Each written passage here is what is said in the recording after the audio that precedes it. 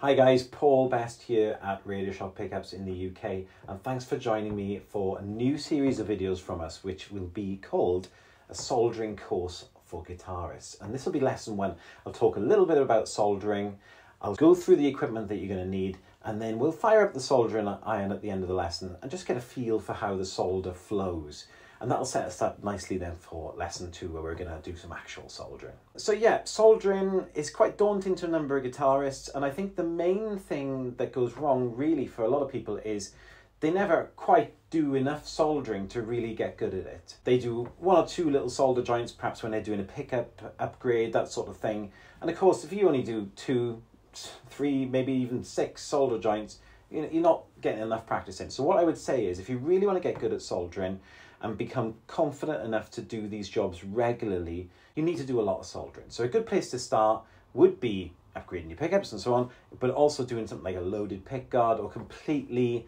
upgrading all the electronics in your guitar.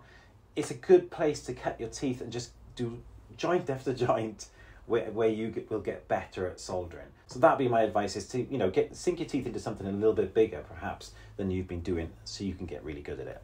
So what you're going to need is, ooh, surprise, surprise, a soldering iron. Now we use these these ones, these rather fetching yellow ones from Antex. Um, they, we're not sponsored by them. We don't have a deal with them. It's just what we've evolved towards using. There's lots of people making really good soldering irons. I wouldn't scrimp too much. This was around about £22, which I suppose is around about $30, maybe 25 euros.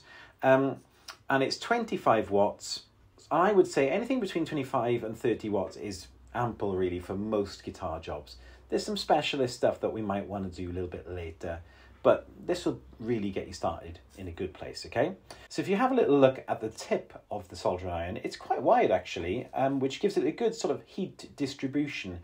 I would stay away from the type which are a very thin pencil end type.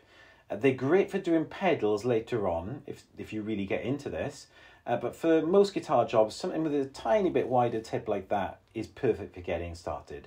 Now you're going to need a good stand. You know, um, the last thing you want is, is your soldering iron not being stationary when it's not in use. So get yourself a good stand and most will come with a sponge which you just get ever so slightly damp. If it doesn't come with it, then you can get a bit of sponge and cut it yourself into a shape that will fit nicely in the stand. Next thing you're going to need is solder. Now, I use solder from a company called Cynel, which is C-Y-N-E-L. It's made in Poland. It's 60-40 lead tin split. So it does contain lead. That's up to you whether you want to be worried about that. Um, I would imagine if you're not doing a huge amount in it, perhaps you don't need to worry too much. But if if you don't aren't keen on that, then you can look for alternatives. But this is what I use, and people have been using it for decades. It does a great job. 60-40 lead tin split 0.7 millimeter diameter. That's what I use day in, day out. And what I will say about buying solder is if you go on your sort of marketplaces online, um, beware of anything which isn't branded because it can be sort of fairly sort of shoddy and a little bit crumbly and it does, just doesn't flow right. Um, so I would go with something that somebody's been happy enough to put their name on um, and that usually denotes that it'll be of a, a, pretty good quality. But this is really good stuff, Cynel. Other things will be needed as we go through the course, but I really recommend these clippers from Piergiacomi in Italy. They get very close to where you're snipping and they're just very good quality. So those are really good and indispensable really for me as a pickup maker day in, day out. The course is obviously free. Um, some people do courses online and they have like Patreon or they ask for a donation. All I would ask for you to do is just when you get a chance, check out our pickups. These videos really, uh, they're to help guitarists, but also they're to help the spread the word on our pickups. I'll put a little link up in the top left when you can have a little look when you get a chance. Thank you very much. Okay, so um, what I want you to do now is we're going to fire up the soldering iron. I'm going to change the view so we can see what I'm doing. I've just got my sponge in front of me and it's nice and damp. And what I want you to do, just to finish off today's lesson, which is the first lesson really, and that is just to practice um, getting the feel for how the solder behaves. Um, to understand and get confident with solder, we, we can't really be scared of it in a way. Um, because obviously it does flow and it can overflow. And if we get a feel for how we can control that, then I think we can actually, you know, learn to master it a little bit. So what we're going to do is just clean our tip in the sponge and then add some solder, clean, add solder, and keep going. And just experiment. Whilst you hold the soldering tip over the sponge, maybe put too much on, even to the point where it overflows and drips onto the sponge.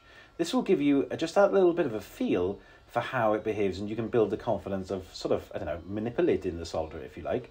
Clean the sponge, clean the tip, keep going, add some, clean it, and just see how it behaves and get the real feel for how the solder behaves on the end of your tip because once you've learned to control this you can then control putting it on other objects and that is lesson one really it was just to build that confidence with the solder um, so I hope you found that useful. We're going to go on to lesson two now, which is tinning, and that is very important.